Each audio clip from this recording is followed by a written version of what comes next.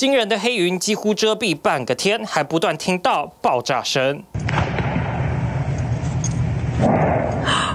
仿佛带着火焰的黑色龙卷风，印第安纳里奇蒙市的一处塑胶回收厂周二晚间起火，在风势助长下，占地四十英亩的工厂几乎全部陷入火海，已经烧了二十四小时还无法扑灭，火大到还能在卫星图上看得到。Look out my window.